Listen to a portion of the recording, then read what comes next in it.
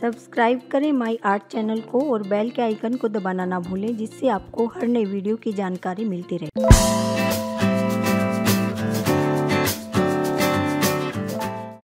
इस वीडियो में मैं आपको आज कुछ ऐसे टिप्स बताने वाली हूँ, जिससे आप आसानी से सिलाई सीख सकते हैं और अपनी सिलाई में बहुत ज़्यादा फिनिशिंग ला सकते हैं। तो आप इस पूरी वीडियो को बिल्कुल ध्यान से देखिए, आपको सारी बातें समझ आ जाएँगी। सिलाई के लिए जो सबसे पहली बहुत ज़रूरी बात है, वो ये है कि हमारी सिलाई मशीन, इसकी सिलाई एकदम सही होनी चाहिए।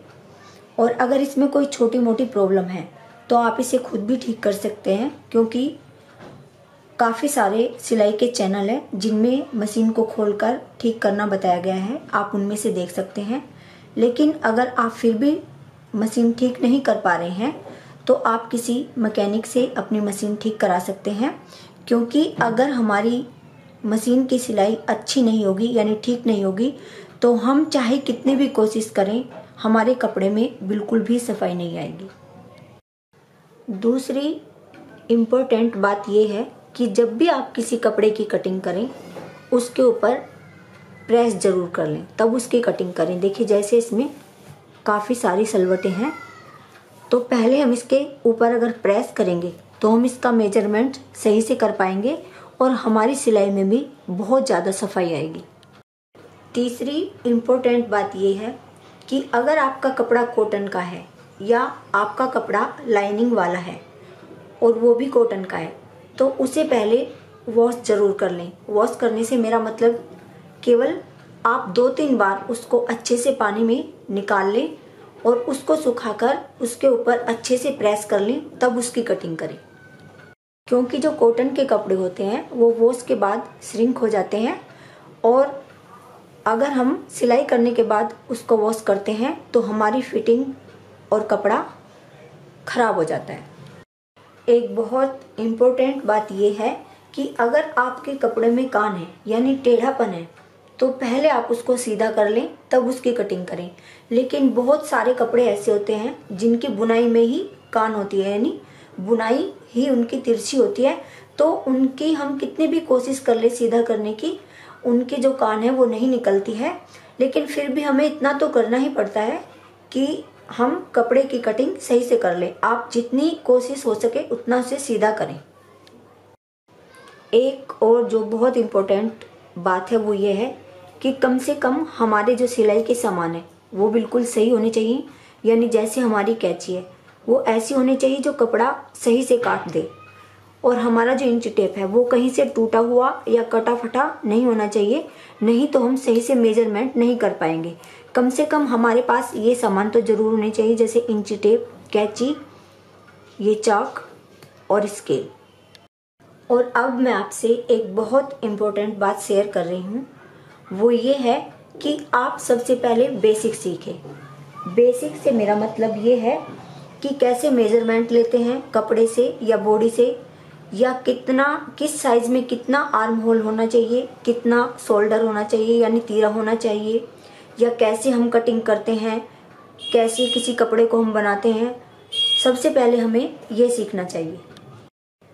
और किसी नेक में कितनी मैक्सिमम या मिनिमम लंबाई या चौड़ाई होनी चाहिए, ये सब हमें पता होना चाहिए, तभी हम किसी कपड़े की कटिंग कर सकते हैं।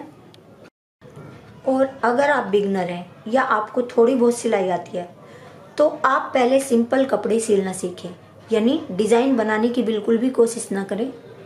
यानी जो डिज़ाइन बिल्कुल ईजी है, पहले आप वो बनाएँ। अगर आप किसी भी काम को अच्छे से सीखना चाहते हैं तो उसमें तीन बातें बहुत ज़रूरी है। वो है लगन, मेहनत और पेशेंस और जब आप सिलाई करें तो सिलाई में बिल्कुल भी जल्दबाजी ना करें। अगर आप बिगनर हैं और आपको कोई डिज़ाइन ऐसा है कि जिसको आप सीधे मशीन से नहीं बना सकते और आपको बनाने में मुश्किल हो रही है तो उसके ऊपर पहले आप हाथ से कच्चा कर लें। फिर उसके ऊपर आप सिलाई लगाएँ। बेशक आपको पूरे कपड़े के ऊपर हाथ से कच्चा करके तब सिलाई लगानी पड़े, लेकिन आप जो भी कपड़ा बनाएँ, सफ़ाई से बनाएँ, बेशक वो एक दिन के बजाय दो दिन में बने या तीन दिन में बने, लेकिन अच्छा बनना चाहिए। जैसे आप किसी नेक की कटिंग कर रहे हैं तो आप किसी न्यूज़पेपर वगैरह पर उसकी कटिंग जब तक करते रहिए, जब तक आपको बिल्कुल अपने मन मुताबिक या बिल्कुल परफेक्ट उसकी कटिंग ना लगे। और उनमें से जो कटिंग आपको बिल्कुल सही लग रही है, उस कटिंग को आप बुकरम के ऊपर रखकर निशान लगाइए और तब उसकी कटिंग करें। जैसे आप फिटिंग की सिलाई लगा रहे हैं या स्लीव्स वगैरह लगा रहे हैं या कुछ ऐसी सिलाई लगा रहे हैं जिसको लगाने में आपको थोड़ी मुश्किल हो रही है या आपको लगता है कि पता नहीं ये हमारी ठीक से हो पाएगी या नहीं तो उसमें आप थोड़ी बड़ी सिलाई करके उसके ऊपर लगाएँ ताकि अगर हमें कपड़ा उधेड़ना पड़े तो उधेड़ने में हमें दिक्कत ना हो और वैसे भी बहुत ज़्यादा छोटी सिलाई करके हमें कपड़ा नहीं करना चाहिए, क्योंकि इससे हमारा कपड़ा कहीं से क्रैक हो सकता है। और जब आपको लगे कि आपकी जो फिटिंग है वो बिल्कुल सही है और आपके मन मुताबिक है, यानी जैसी आप चाहते थे ऐसी है, और आपकी स्लीव्स बिल्कुल सही तरीके से उसमें लग गई है तो आप उसके ऊपर फाइनल सिलाई लगा सकते हैं, यानी अपनी सिलाई को जितनी आप सिलाई रखते हैं, ना ज़्यादा छोटी, ना ज़्यादा बड़ी, उस पर आप फाइनल सिलाई लगा दें। और अगर आप सिलाई सीख रहे हैं तो आप हमेशा सस्ता कपड़ा यूज़ करें, जिससे आपके थोड़े पैसे बच जाएँगे और आप ये सिंपल वाली बुकरम यूज़ करें, क्योंकि ये थोड़ी सस्ती होती है, इसलिए। लेकिन आप अगर अपना कोई कपड़ा बना रहे हैं तो आप सिंपल बुकरम की बजाय पेस्टिंग वाली बुकरम यूज़ करें। इसके दो बहुत बड़े रीज़न हैं। सबसे पहला रीज़न तो ये है कि पेस्टिंग वाली बुकरम से बहुत ज़्यादा फिनिशिंग आती है। और दूसरा रीज़न ये है कि अगर हम सिंपल बुकरम यूज़ करते हैं तो इसमें से सफ़ेद सफ़ेद चूड़ा सा निकलता रहता है। जब हम सिलाई करते हैं तो ये हमारे मशीन के जो अंदर पार्ट्स होते हैं, उनमें भर जाता है और हमारी मशीन बहुत जल्दी गंदी हो जाती है, वो बहुत भारी चलने लगती है और हमें जल्दी जल्दी उसकी सफ़ाई करनी पड़ती है और हमारी मशीन कई बार सिलाई भी खराब देने लगती है। और वैसे भी मेरा मानना है कि किसी भी कपड़े को जल्दबाजी में बनाकर बार बार उधेड़ कर कपड़ा खराब करने की बजाय उसे पेशेंस रखकर बनाइए, कपड़ा अच्छा बनेगा। बेशक आपको बार बार हाथ से कच्चा करना पड़े। अगर आपका कपड़ा अच्छा बनाए और बिल्कुल सिंपल है। तो देखने में वो बहुत अच्छा लगेगा, बहुत अच्छा लुक देगा। बेशक वो सिंपल है, लेकिन अगर आपके कपड़े में सफ़ाई नहीं है, बेशक कपड़ा कितना भी महँगा है, डिज़ाइनर है तो आपका कपड़ा बिल्कुल भी अच्छा लुक नहीं देगा।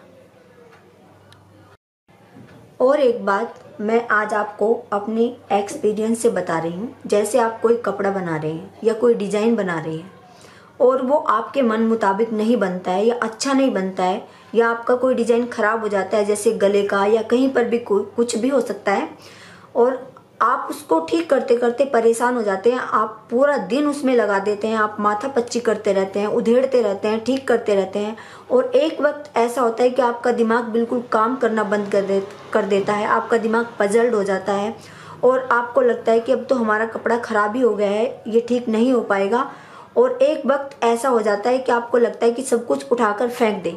तो ऐसे में बेशक आपका मन नहीं करे कि आप अपना कपड़ा रख दें। सारे तामझाम को आप उठाकर रख दीजिए, टेंशन फ्री होकर। और उसको एक दिन बाद या दो दिन बाद दोबारा से उठाकर ठीक करने की कोशिश कीजिए। मैं दावे के साथ कह रही हूँ कि आप बिल्कुल आसानी से अपने कपड़े को ठीक कर पाएँगे और बहुत जल्दी से आपको उसका हल मिल जाएगा। और हो सकता है आप जैसा बनाना चाहते थे, उससे भी कहीं ज़्यादा बेटर कर पाए। क्योंकि हमारा जो दिमाग है, हमारा जो शरीर है, वो दोबारा से प्रिपेयर हो जाता है और हम बिल्कुल शांति से उसको बना सकते हैं।